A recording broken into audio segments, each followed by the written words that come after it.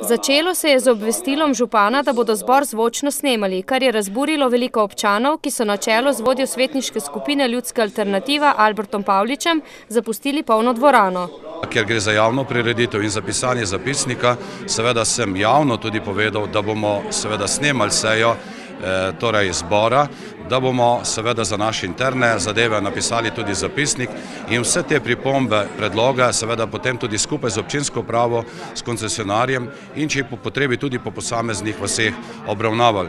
Kot pravi Pavlič, so se oprli na odločbo informacijske pooblaščenke v podobnem primeru, ki govori o tem, da bi moral župan in tudi podžupan za zvočno snemanje in nadaljno obdelavo osebnih podatkov eh, na posnetkih imeti zakonsko podlago, ki pa jo informacijski pooblaščenec ni našel. Župan in eh, podžupan bi morala navzočim eh, predlagati soglasje za zvočno snemanje, kar pa seveda nista želela storiti.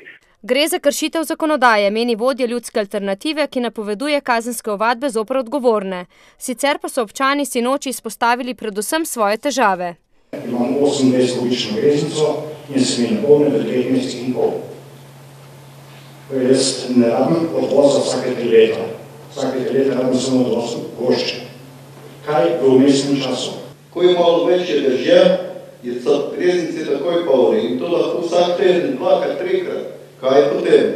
Občane zanima tudi vrednost projekta odvajanja in čiščenja odpadne vode. Kaj je končni strošek te naše eh, infrastrukture, ki je namen zgraditi? Ali je to, ne vem, šentrnejski tež? Ta hip sicer pripravljajo operativni program za drugo in tretjo fazo projekta odvajanja in čiščenja odpadne vode, ki mora biti dokončan do leta 2017. V drugi fazi naj bi za 25 vasi potrebovali približno 3 milijone evrov.